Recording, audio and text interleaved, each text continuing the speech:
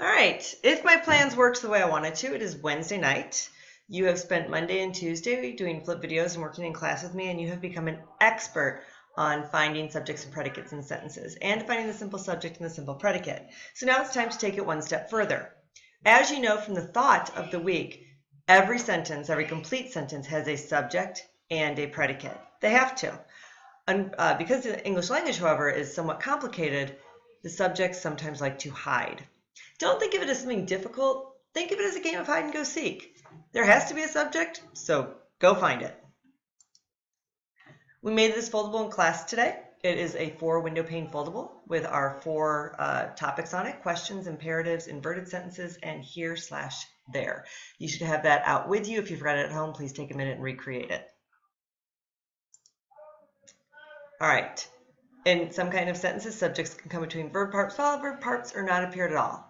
But there is always a subject. Always. You just have to find it. Just like you have this cute little kitten hiding under the hat. Wouldn't it be fun to find the kitten? Of course it would. Just like it's fun to find the subject. Okay, yes, I know that's not really the same thing, but I'm trying. So if you look, under the hat hides the cat. This is an example of an inverted sentence, and cat is your subject. And isn't she cute? So we're going to start with questions, so open that flap, please. Across the top of that flat, please write that the rule of thumb when you see a question is to turn the question into a statement. Then you ask who or what it does. All you really have to write is turn the question into a statement. Let me show you what I mean. Did the ending surprise you? The ending did surprise you. So what did surprise you? The ending. So if you take it and you restate the question as a statement, the subject is much easier to find. Now, in most questions, the subject comes either after the verb phrase or verb or between the parts of a verb phrase. Let me show you what I mean. Is the story suspenseful? Well, your verb is is, and the subject story does come after the verb. And you know this because you change it into a statement. The story is suspenseful. Linking verb is is a verb. Subject to story, verb is is. Now, that also works when you have, a, well, with a verb phrase, what happens, because the verb here is did read, you'll notice that the subject comes in between the verb phrase. When did she read the book? Now you're going to restate this as a statement, but you can't finish the statement because you really don't know when she read the book, so you just kind of do the dot, dot, dot. She read the book yesterday, two days ago, a week ago, who knows, who cares? Because all you're looking for is the subject, which you now know is she. I would like you to write these two examples in your notes under questions. Pause the video while you do that, and then hit play again, and we will move on to imperatives. Oh, and I have my animation, but I'll take it off in case you're trying to copy. Imperatives, commands. Um, the subject is always hidden, and it's always you. So what you're going to write down, the subject of command is usually you. Now, I say usually, it really is always unless another subject is stated. So if you don't see a subject, the subject is you. Usually it's not in the sentence. See, I would look at you and say, turn down the lights. I wouldn't say, you turn down the lights, just turn down the lights but then your subject is you. Or I might say sit perfectly still.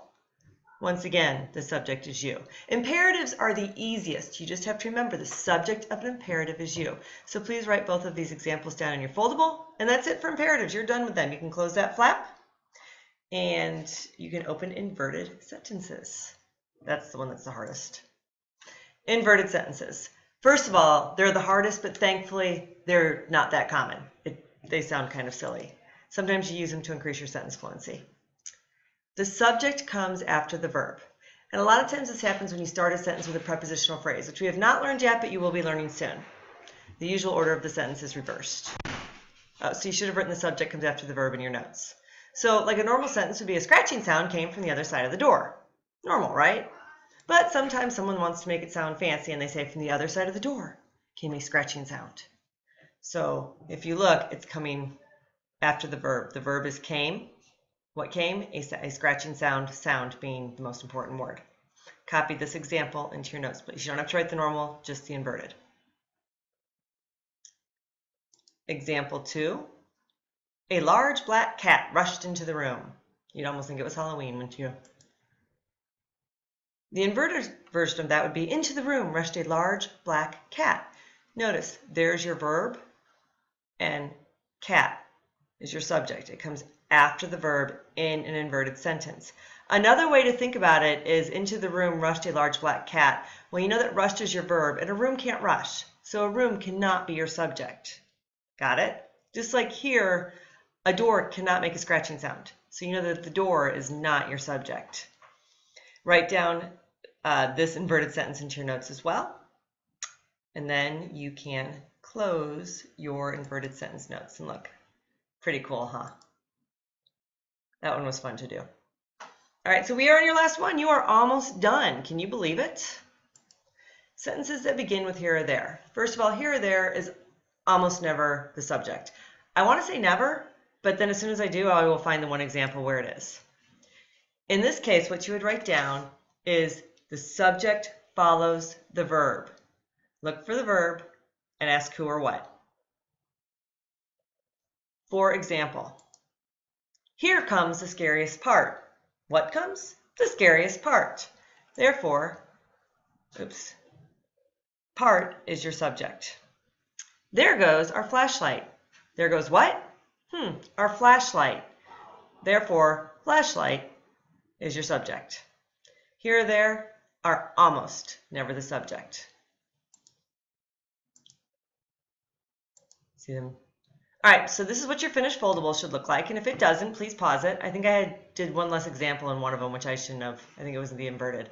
Um, you will be bringing it into class tomorrow, and we will be practicing finding inverted, um, or excuse me, we will be practicing finding hidden subjects, which they might be a question, it might be a command, it might be an inversion, or it might be here or there.